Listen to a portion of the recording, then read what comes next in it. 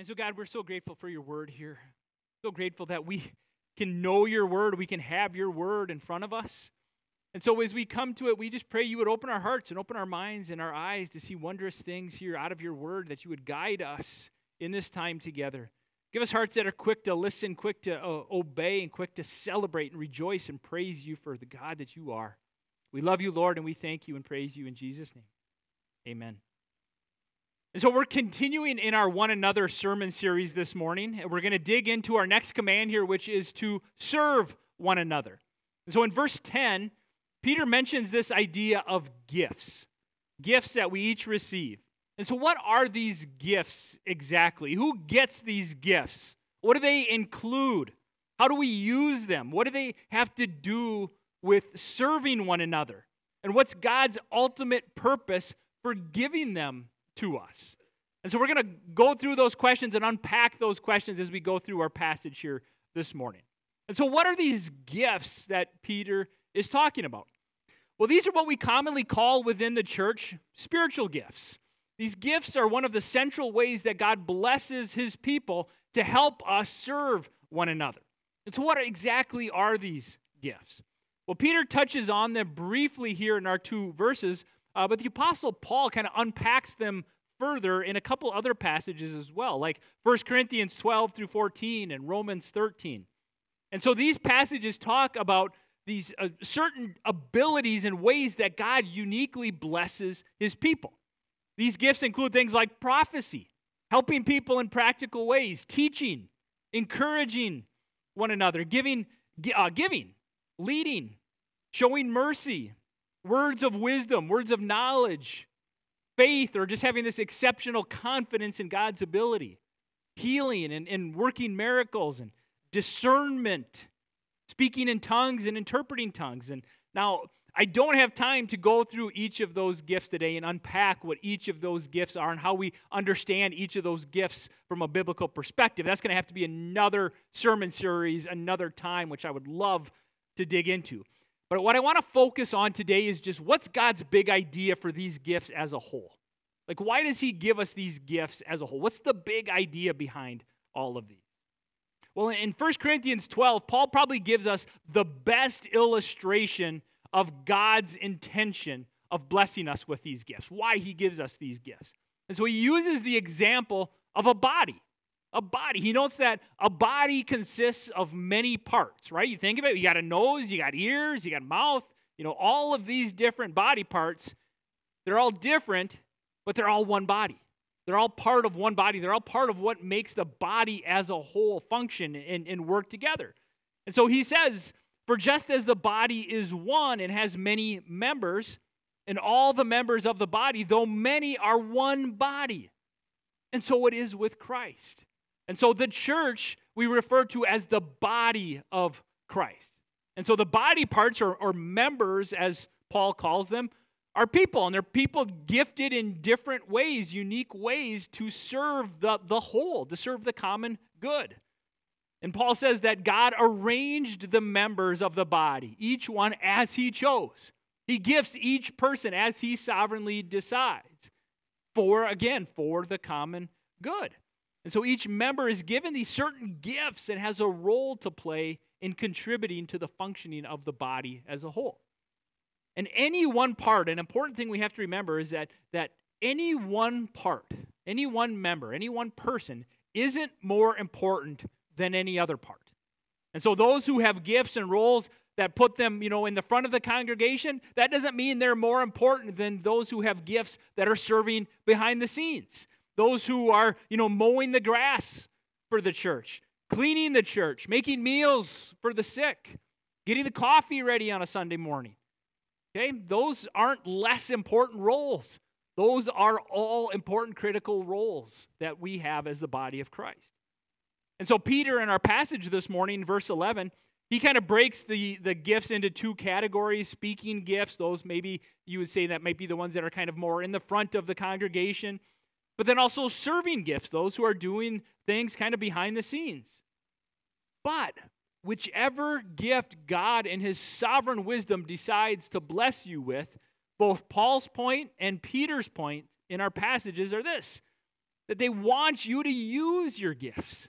Use them joyfully and eagerly and using them in God's strength, the strength He provides to serve one another, to find ways to serve each other. And so, why does God give us these gifts? I think two, two reasons. One is more of a practical reason, and then there's a second, kind of deeper reason that I'm going to come back to uh, towards the end. But Paul says, kind of the practical reason, as I've said here, is for building up the church. It's for the common good, for us to serve one another. God gives every single person who places their faith in Jesus one or more of these spiritual gifts that empower them beyond their own natural abilities for the specific reason that they would use them to build up the church, to serve one another, to love one another. And so notice that it's, it's not, he doesn't gift us so that we can build ourselves up, so that we can build up our own platform and, and boast about our own abilities. No, it's for the good of other people, it's for the good of one another. And so we use them to serve one another. And so, if we think about that idea, okay, that's kind of the big idea of spiritual gifts, that God gives them to us to build up his church, then there are two things that do not make sense at all when we think about this teaching of spiritual gifts. First, the first thing doesn't make sense biblically is a Christian who's a part of a local church but doesn't serve in any way. That doesn't make sense. This makes no sense according to the teaching of spiritual gifts. And I think this is kind of this modern phenomenon uh, that results from kind of our consumerist society. That kind of we've kind of turned the church into this another self-service device where some people approach church asking, "What do I get out of this? What do I get from this?" And so this idea of spiritual gifts that tells us that that's the wrong question to ask. The right question is how can I serve? How can I serve each other? How can I serve one another? Not what do I get out of this? And so that's the first thing that doesn't make sense. The second thing that doesn't make sense, then, based just on this teaching of spiritual gifts alone, is, and I think it's another modern trend, is the idea of Christians thinking that you can live out your faith detached from any expression of the local church. That you can just go live this out, and you're like, I come to Jesus and I'm going to go just live this out on my own. That I can just practice my faith by myself, isolated from everyone else. This, this New Testament teaching of the spiritual gifts, that kind of obliterates that idea. Because the idea of us giving our gifts is to serve one another. We can't serve one another if we cut ourselves off from one another. And so God intends these gifts as a blessing to each one of us so that we can use them in the lives of one another. That's the practical reason he gives us, so that we might use them in community and in relationship with one another. And so, verse 10, again, it says, As each has received a gift, use it to serve one another as good stewards, as good stewards of God's varied grace. And so, I want to key in on that phrase, good stewards. Okay, the, the, the phrase God's varied grace, that just simply means the various ways God gifts his people, the different spiritual gifts. Okay, but, but how are we to be good stewards of these spiritual gifts? What does that mean? Well, I want to suggest two things.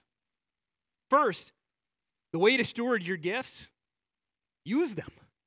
Use them. That's the most obvious from the passage. You, you're a good steward of your gifts when you use them. So to be a steward means to care for something that really belongs to something, someone else. And they've entrusted you with it to care for it.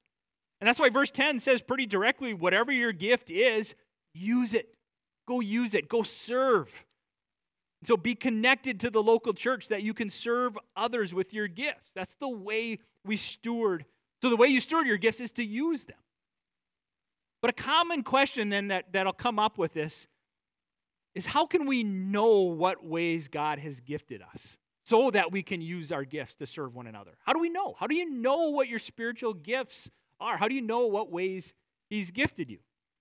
Well, many people today have kind of gotten consumed with, have you heard of these like personality tests like uh, the Enneagram and, and Myers Briggs and DISC and things like that?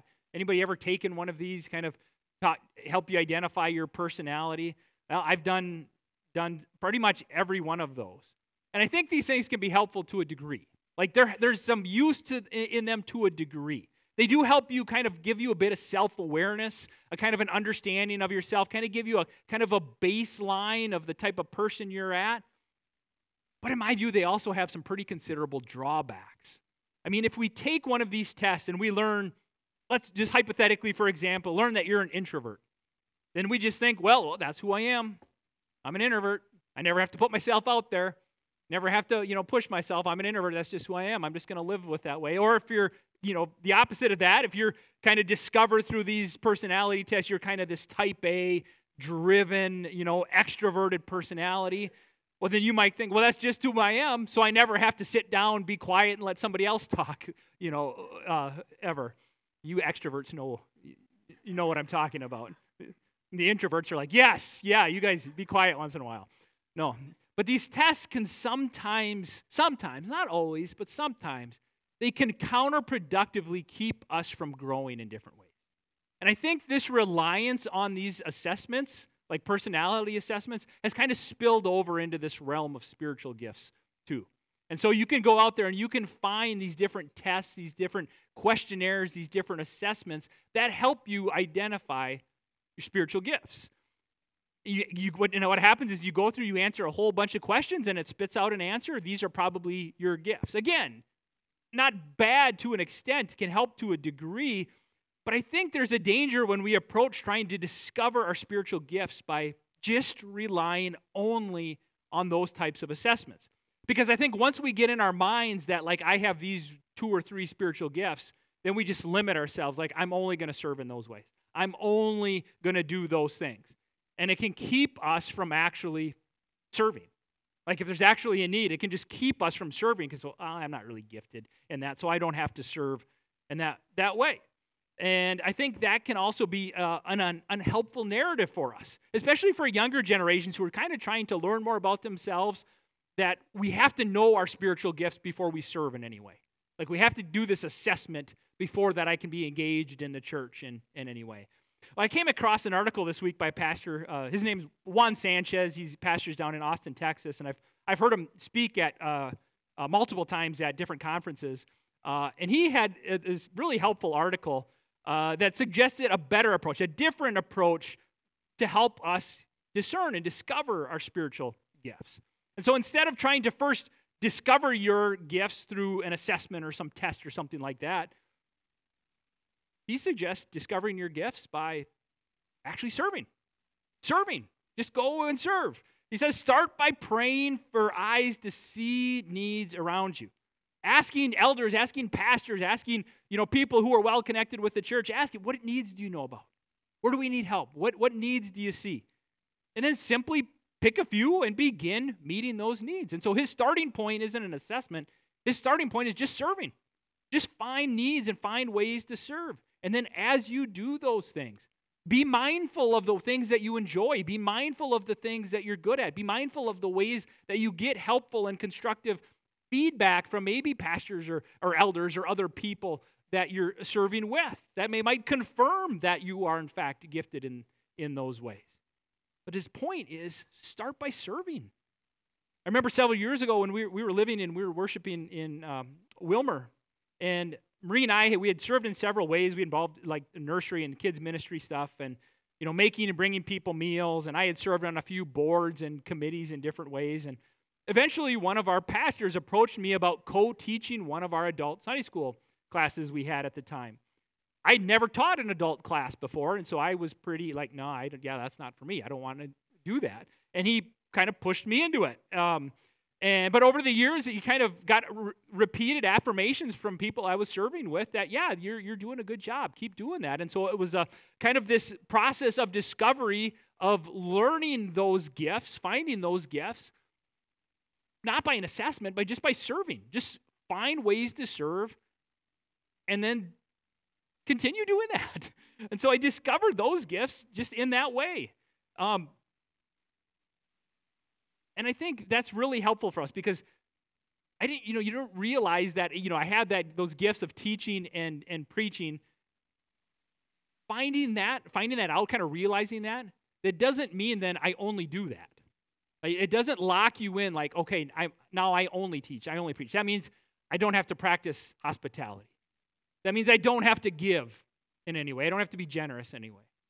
Right? I don't have to be compassionate or, or be helpful or do anything like that. No. Yes, you can press into your gifts and learn and grow in your gifts, but that doesn't remove every other possible way of serving one another. That doesn't remove those off the table. And so the point is, is that the, the best way to identify your spiritual gift, just start serving one another. Find ways to serve one another. Focus on serving one another in love first, and not so much on discovering your gifts first before you serve. Okay? So don't be afraid of trial and error because it won't really be an error if you're serving the church in love. And so maybe you're wondering right now so, okay, you say that, Jason, but what are some needs we have? What are some ways we can be serving in the church? And I just want to offer just a few simple suggestions. One is we need to get a more formal greeter ministry with our church going. Our layout of our church does not, it's, it's not compatible for new visitors very well. Our, our, the downstairs kind of being the front primary entrance, but it's kind of a maze to get up here. And so a, a regular greeter ministry at both doors would be incredibly beneficial for us. We had, you know, I mentioned the, the slide earlier about the concession stand. Grab a few friends, go serve at uh, the uh, Western Fest Rodeo on the concession stand uh, a night or two. But we also have opportunities with our, our sound teams, our worship teams, our kids' ministry, our hospitality teams, which includes helping with funerals like we saw yesterday, making meals for people.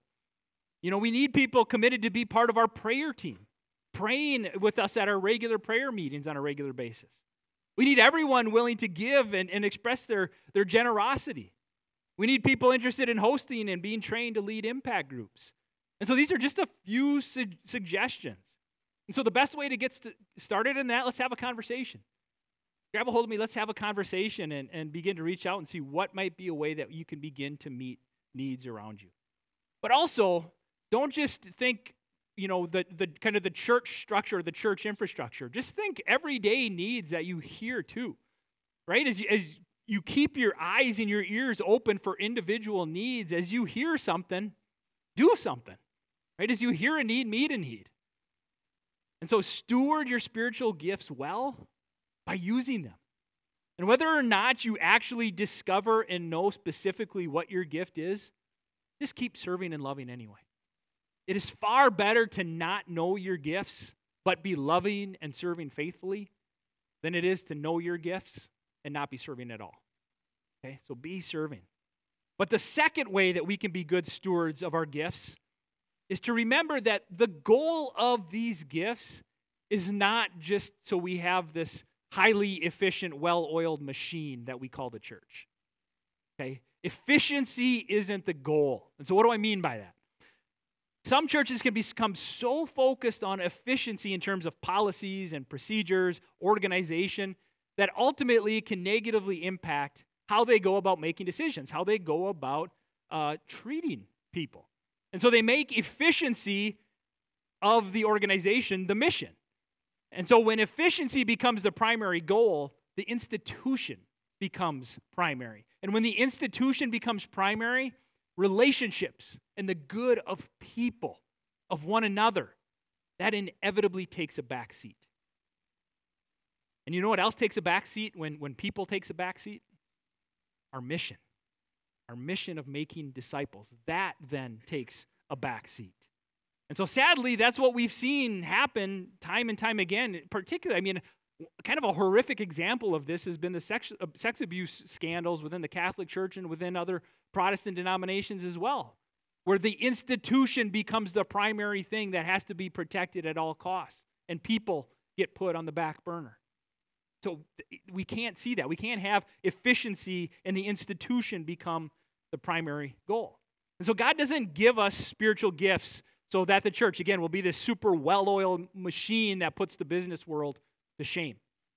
No, the goal of spiritual gifts is building one another up in Christ with love so that the world will see how well we love one another.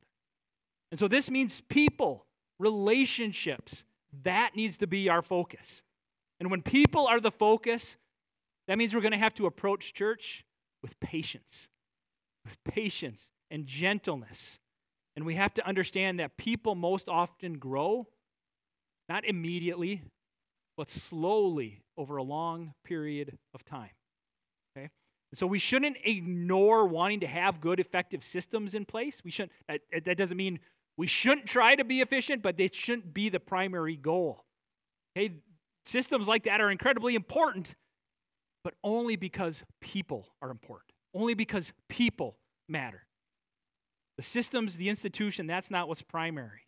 And so policy, any policy we might have needs to serve our mission of making disciples and loving one another. Pastor John, uh, down at our Granite Falls location, he frequently reminds me that at the end of every decision that we make as leaders is a person. Every decision you make is going to impact a person. And so we need to be aware of that. And so how we arrive at those decisions needs to be done in a way that serves one another and builds one another up in love. And we even see Paul kind of emphasize this in 1 Corinthians 13. And so you have 1 Corinthians 13 right in the middle of two chapters where Paul's describing what the spiritual gifts are for and what limits we need to kind of employ when using certain gifts, uh, particularly tongues. Uh, he inserts a section to remind us that the goal of spiritual gifts is not just efficiency, the goal is love. That's why he says in 1 Corinthians 13, 1 through 3 If I speak in the tongues of men and of angels, but have not love, I'm a noisy gong or a clanging cymbal. And if I have prophetic powers and understand all knowledge, and if I have all faith so as to remove mountains, but have not love, I am nothing. If I give away all I have, and if I deliver up my body to be burned, but have not love, I gain nothing. In other words, if you utilize all your gifts with just this incredible demonstration of ability and power, but you do it without love, nobody's going to want to listen to you. If you carry out your spiritual gift to the greatest possible extent, but you do it without love, you're nothing and you gain nothing. Those are strong words we need to listen to. And so this is an important reminder for us that, that spiritual gifts, spiritual gifts, are not the mark of maturity in a Christian.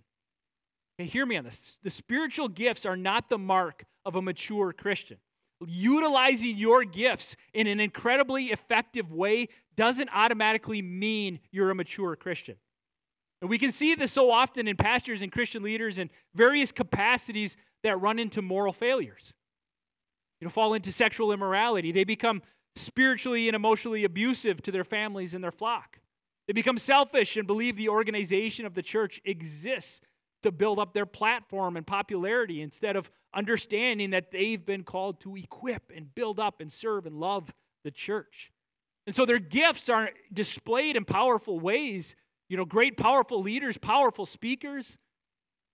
But then you see that kind of crumbling behind the scenes. Their, their lack of spiritual fruit is slowly becoming increasingly evident to those closest to them. And so, this is why the practice of our spiritual gifts in order to serve one another always needs to first be rooted in the fruit of the Spirit. If you're not familiar with what I mean by that when I say that phrase, fruit of the Spirit, this is, this is what I mean. That phrase comes from the book of Galatians. Paul says in Galatians 5 22 and 23, he says, But the fruit of the Spirit is love, joy, peace, patience, kindness, goodness, faithfulness, gentleness, self control. Against such, such things, there is no law. Okay, these things are the true evidence that we're growing deeper and becoming a more mature follower of Jesus. It's when other people see these things in us and see them becoming more and more true of us, that's when we're maturing as a follower of Jesus.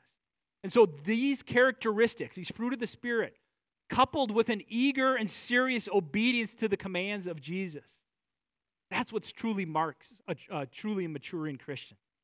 And so this means who you are, your character, your values. That matters far more to God than your performance or the things that you do. Okay, the kind of person you are matters more to God than the things that you think you'll be able to do for God. And so we need to start there with the fruit of the Spirit in us and root any gifts we have in the fruit of the Spirit first. And so when we think about this question of how do we exercise our spiritual gifts so that we can serve one another and build them up in love, the answer is that we need to be rooted in the fruit of the Spirit. And the way we see that fruit increase in us, we see that produced, is through this idea of called abiding. Abiding in Christ, which is a word that means like remain at home in Him. Stay at home in Christ. And the way we stay at home in Christ is by being rooted in His Word, being rooted to Him in prayer, being rooted to Him in worship, gathering together in worship, abiding in Him. That's how we see this fruit produced in us. Okay, that's how we need to practice our spiritual gifts in order to be good stewards of them and to serve one another in love. Okay, but again, why? Why?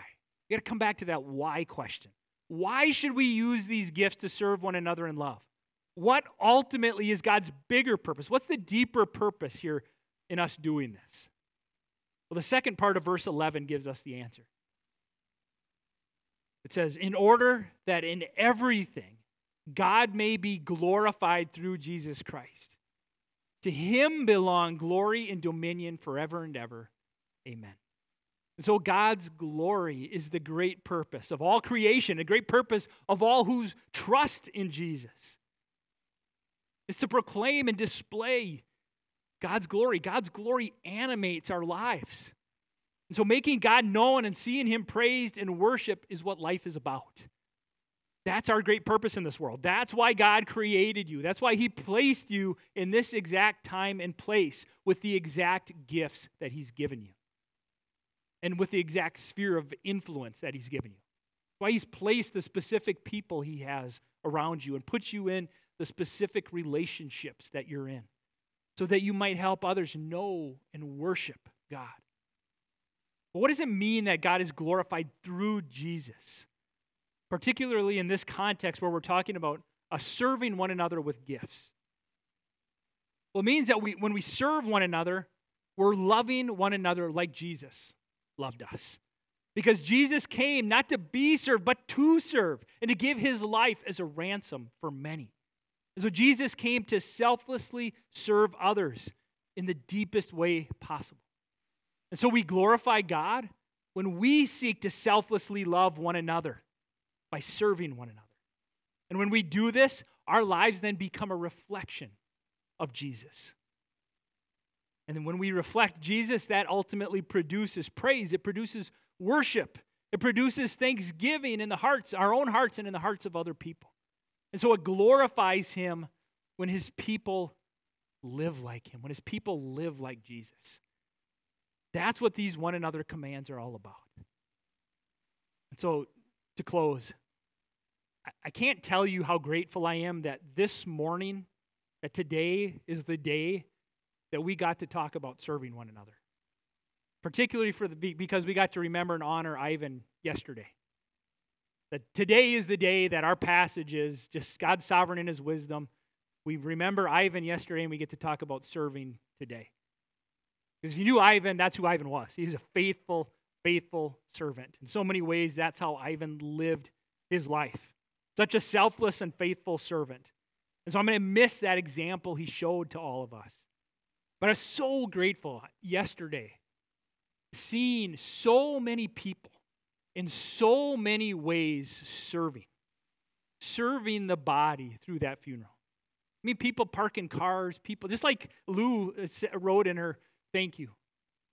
Parking cars, getting the food ready, ushering, all these different different ways and just being present praying over the family it was a beautiful testimony to this idea of serving one another in love. Such a fitting illustration of what that looks like and what this means. And so let's press into this. Let's keep doing it more and more. May we just be stirred up all the more by ivan's example. Because Ivan's example was a reflection of Jesus' example for us. That's ultimately who he was pointing us to. And so let's, let's be stirred up all the more to love one another well by serving one another.